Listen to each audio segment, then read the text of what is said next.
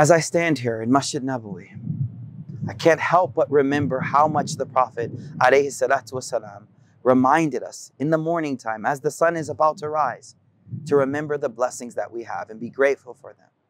There's a dua I want to share with you that the Prophet wasallam, he used to recite very often.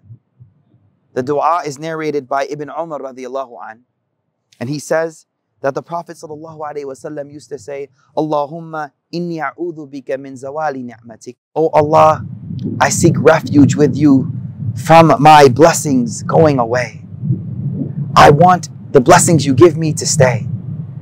And of course, we know that the Prophet ﷺ taught us that one of the ways we can keep our blessings is through gratitude. But we must also turn to Allah and ask us, Ya Allah, keep the blessings that you have given me and allow me to keep them and stay with me. He would also say in this dua, وَتَحَوَّلْ عَافِيَتُكَ Oh Allah, do not allow your tranquility to leave me. The afia that you have given me, the tranquility, that you have given me. Oh Allah, please allow me to keep that. Allow me to have that. And the Prophet ﷺ would say, Oh Allah, I seek refuge from your anger that comes suddenly. Oh Allah, protect me from doing something, saying something, acting in a way that would gain your sudden wrath and anger. Oh Allah, protect me from that. And finally, the Prophet ﷺ, he would say, I seek refuge from all of your wrath and your anger.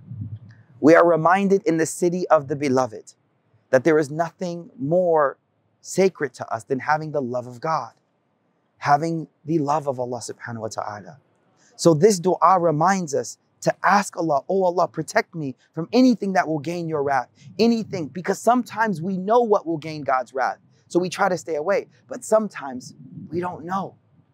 And so what we know and what we don't know. We're asking Allah, oh Allah, protect me from doing any actions that will cause your blessings to go away, the tranquility you have given me to be taken away, and from any actions that will cause your wrath to come down upon me. We ask Allah subhanahu wa ta'ala to give us afiyah. We ask Allah to give our brothers and sisters around the world afiyah, which means tranquility, blessings that are with them continually. And we ask Allah subhanahu wa ta'ala to always protect us from anything that will gain His wrath.